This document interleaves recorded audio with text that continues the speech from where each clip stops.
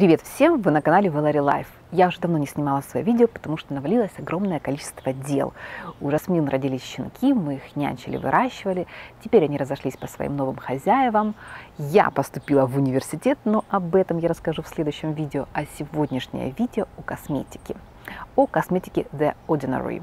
Я вам расскажу, какие продукты я уже использую успела попробовать, что мне понравилось, а что не понравилось, почему я обратила внимание на эту косметику.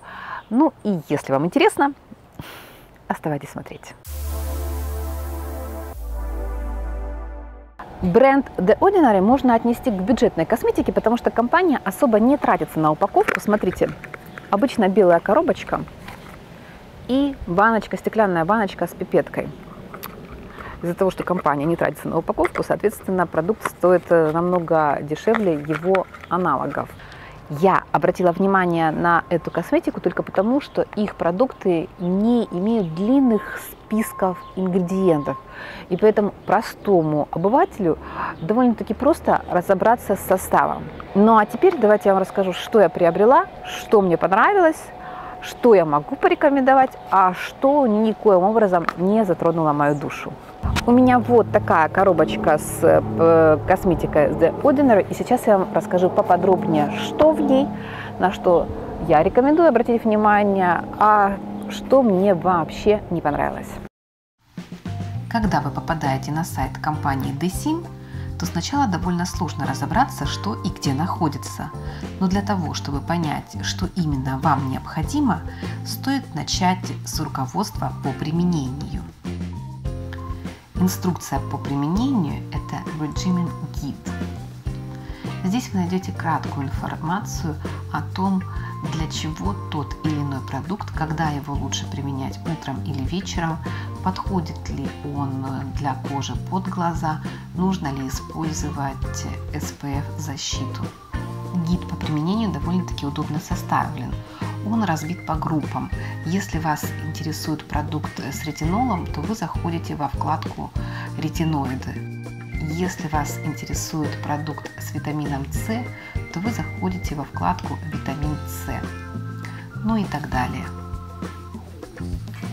После того, как вы сделали свой выбор, обязательно стоит прочитать комментарии под каждым продуктом. Особенно это важно, если рейтинг данного продукта не очень высокий. Я уже два раза заказывала продукцию The Ordinary и сейчас поделюсь своим опытом. В мой первый заказ входило масло шиповника. У этого продукта довольно высокий рейтинг, но мне это масло не подходит. Оно не впитывается на моей коже и остается жирной пленкой. Хотя очень многие блогеры его хвалят и говорят, что масло отлично работает на любой коже и идеально подходит даже для жирной кожи. Огромный минус э, в том, что в описании продуктов не указано для какого типа кожи тот или иной продукт. Поэтому надо перечитывать кучу комментариев для того, чтобы понять, подходит тебе тот или иной продукт. Второй продукт, который я заказала, это ретинол 0,5% Инсквалан. Сквалан – это масляничное средство, позволяющее продукту не окисляться. В данном случае это консервант для ретинола. Я не ощутила никаких положительных изменений. Возможно, он для более чувствительной кожи. Высыпаний после него нет. Правда, косметологи утверждают, что ретинолом надо пользоваться постоянно, и через 10 лет вы увидите результат. Третий продукт – это альфа-липоидная кислота 5%. Вот тут я в восторге. Я увидела результат после первого применения. Кожа стала более однотонной, уменьшились высыпания и покраснения всего лишь за одну ночь. Но мне кажется, что это довольно-таки агрессивный продукт, и он не подойдет для чувствительной кожи. Во всяком случае, я этим продуктом пользуюсь только в осенне-зимний период. Летом, весной я его не использую. Второй мой заказ это Баффит с пептидами 1%. Это витаминная сыворотка. Она самая дорогая в линейке The Ordinary. И я ей пользуюсь только вечером. Ну или если никуда не иду в течение дня. Так как на моей коже она довольно долго впитывается. Она хорошо увлажняет и питает мою кожу.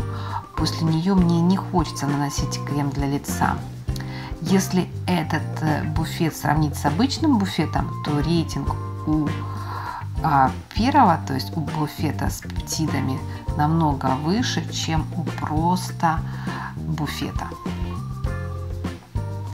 Еще один продукт – это пептидный комплекс Arginine Solution 10%, который можно использовать на коже вокруг глаз. Я наношу его на все лицо – очень легкая консистенция, консистенция и быстро впитывается. У этого комплекса не особо высокий рейтинг, и я не могу сказать ничего плохого. Ни аллергии, ни высыпаний у меня после нее нет. Но восторгаться тоже не буду, у меня довольно нейтральное впечатление. Обычно после этой сыворотки я наношу следующую сыворотку неоцимид 10% плюс цинк 1%. Тоже витаминная сыворотка. Эта сыворотка контролирует выделение кожного жира. Она предназначена для улучшения тона лица, то есть убирать недостатки на коже, какие в описании, к сожалению, не указаны. Ее нельзя совмещать со средствами, содержащими витамин С можно наносить как утром, так и вечером под крем. И последний продукт, который я приобрела, это мой фаворит. Это аскорбиновая кислота в порошке. Этот продукт можно добавлять в гель для умывания, но я этого не делаю. В маску для лица, в вашу любимую сыворотку, в крем. Его нельзя совмещать с продуктами неоктинамид – Результат увидела с первого применения. Тон кожи выровнялся за одну ночь. Этот порошок очень легко растворяется, легко впитывается. Можно использовать и утром, и вечером. Но я предпочитаю это средство использовать вечером, потому что когда вы наносите его на лицо, оно слегка пощипывает и получается такой дискомфорт. То есть э, не хочется сверху наносить косметику. Поэтому я этот порошок использую или в сыворотку крем на ночь, или в маску для лица. Утром я его не использую. И, конечно же, конечно же, конечно же, нужно всегда помнить о кремах с SPF фильтрами. Ну вот и все, мои дорогие. Если вам понравилось, то ставьте пальчики вверх, подписывайтесь на мой канал, а я с вами прощаюсь и до следующих видео. Всем пока!